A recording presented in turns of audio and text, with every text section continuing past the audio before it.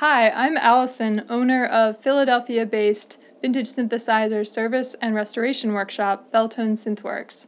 And today I'm going to be explaining how the panel, memory, and preset sound selection works in the Yamaha CS80. This is the first in a what will hopefully be a series of videos I'm planning to make that are inspired by the circuit descriptions in synthesizer service manuals. One of the things that's been really helpful to me in my tech work and in coming to be able to connect my general knowledge of electronics theory with how synthesizers are designed specifically has been reading those circuit descriptions. A lot of the small American companies, especially, wrote really great detailed step by step explanations of how their instruments worked. So I thought I would do the same for some circuits that uh, catch my eye as I work for being clever, stupid, smart, silly, weird, anything.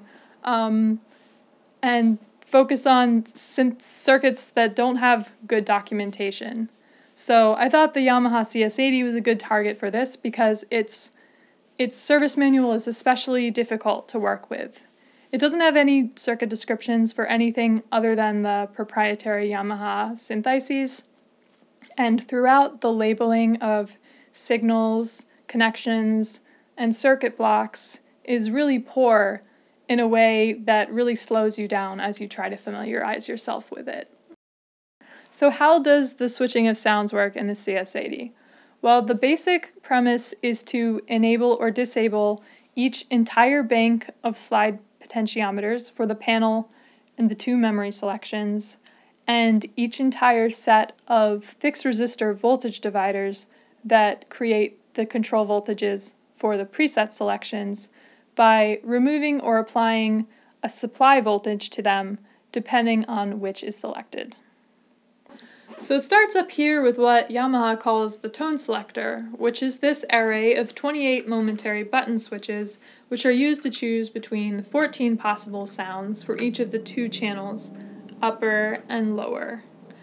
11 presets, the main panel settings on these sliders, and two additional banks of sliders for each channel hidden under here, which Yamaha calls memory.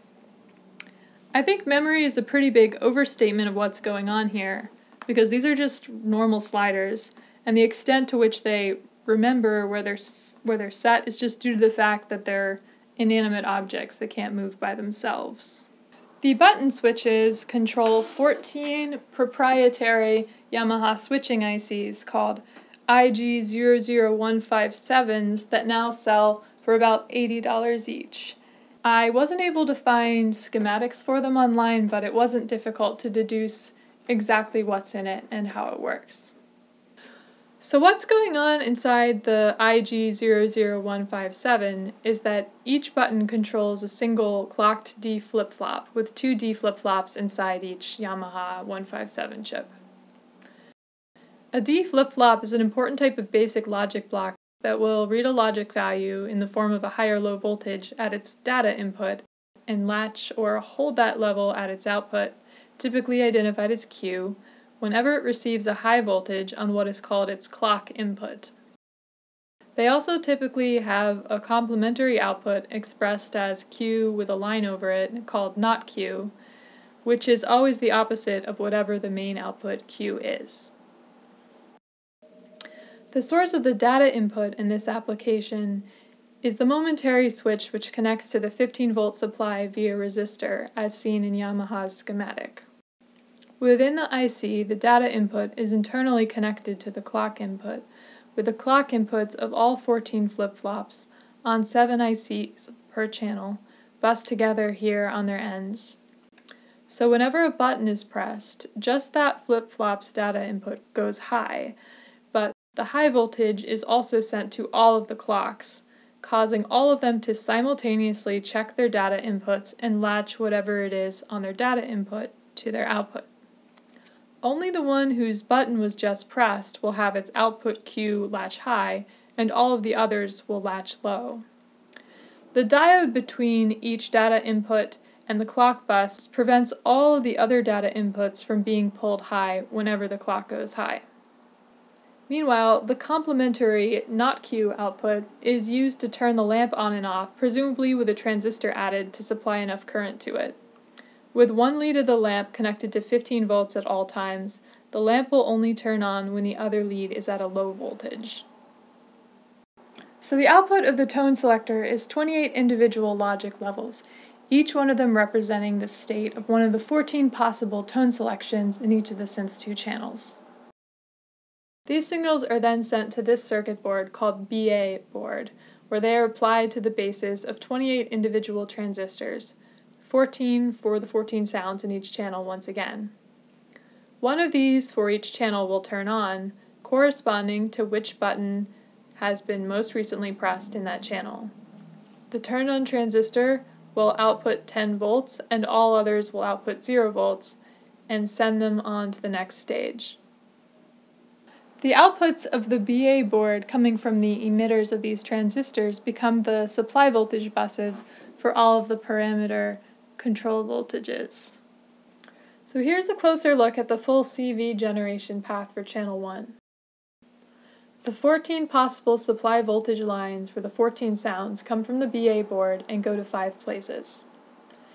Six of them goes to this board, T51, to be distributed to fixed resistor voltage dividers for the first six presets, each consisting of the resistors the buses connect to directly, plus the 10k ohm resistor drawn right at the CV output on the schematic. Five of them go to T52 to be distributed to similar voltage dividers for the remaining five presets. One of them goes to the wire bus that supplies all of the main panel sliders, and the last two go to each of the two banks of memory sliders for that channel. The outputs of the panel sliders come in on the T51 wires and each run through a diode here before being dumped onto the respective CV mixing buses along with the outputs of the first six presets voltage dividers. For a few specific parameters, the outputs of both the main panel and memory bank sliders are sent to the BA board first and run through op-amp buffers before being sent to the T boards. Then the 26 CVs on the T51 board are daisy chained to the T52 board where they meet up with the voltages from the other five presets and from the same point are sent to the CV input points on the first voice board. Isn't something missing though? When do the rest of the memory bank sliders have the opportunity to dump their CVs in? Okay, well, after all of the CVs on each of the eight voice boards are daisy chained together, You'll notice that even on the last board, voice 8, there are two wires for each CV. This is where the memory CVs are being dumped in, and the memory sliders have their diodes just soldered directly to the back of them to avoid having to put them somewhere else. So what we have here is a system that's basically very simple, but also very messy and very precarious. There are a lot of things that can go wrong, and the failure of even just one tiny component can make a lot of things not work correctly. For example, if you have just one shorted transistor on the BA board, the corresponding sound's supply voltage bus will always be on, meaning that the CVs from it will always be added to whatever CVs are actually selected, and every single sound, except for that one, will sound wrong. On the flip side, if one of the diodes connecting a specific slider to the CV bus fails as a short, Whenever that slider is set to a low voltage, it will pull that entire bus down and hold it there no matter what sound is selected. And finally, you can get some really weird symptoms arising from the fact that not every parameter is used in every preset. Um, for example, this CS80 had a problem where the 5th, 6th, 7th, and 8th preset of channel 2 didn't produce any sound at all. And I also noticed by looking at it on the scope that the supply rail uh, supply buses for those CVs for those presets never went high when they were selected. Um, the first the first thing that could point to this would be a problem either in the switching or um, on the tone selector or on the BA board, but by disconnecting the output of the BA board for those, I was able to confirm that the switching was indeed working correctly, which meant that the problem must be something further down the line. Looking at the schematics a bit more, I discovered that those four presets had one thing in common, and that was that they were the only presets in which the input voltage was being sent to the CV bus identified as 4, which is the oscillator pulse wave on and off setting. This is a binary parameter, meaning that it can only be on or off, and these were the only presets that had it turned on. And sure enough, if I turned pulse wave on while the panel or a memory was selected, that slider bank's entire supply bus would get pulled down too. So then I knew it must be something connected to that, and I eventually traced the problem to this transistor TR7 on one of the voice boards having failed. So whenever the CV supply voltage was applied to this CV bus, as it was in those presets only, the entire supply would short through TR7 of that voice to a very low voltage. So my main takeaway from familiarizing myself with this system is that it's a very simple, primitive system that Yamaha really stretched to its limits, and the entire CS80 is designed that way.